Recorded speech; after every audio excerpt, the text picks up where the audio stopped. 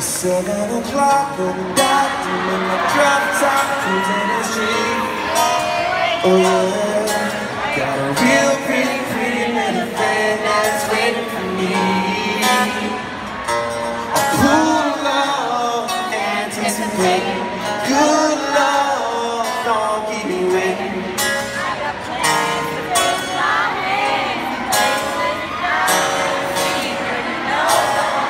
waiting.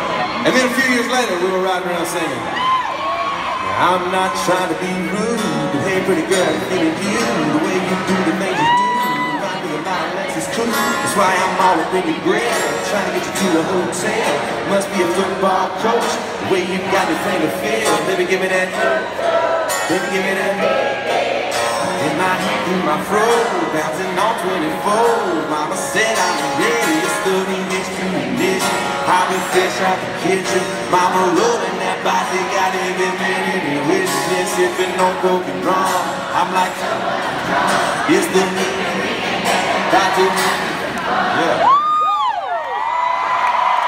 So so now between high school and moving up to Nashville, I got into all kinds of music. I listened to all different styles of music.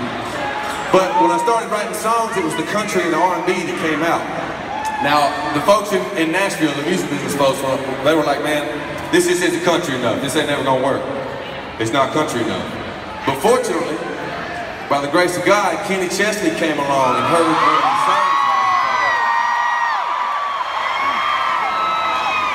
I wrote this song with my good buddies Josh, uh, Josh Osborne and Shane McNally. Josh is here tonight. His wife is from Pittsburgh, so he's, he's been he's been down me from the beginning. We wrote a bunch of songs together. But we wrote this song and uh, and, and uh, Kenny Chesney heard it, and he put it on the radio.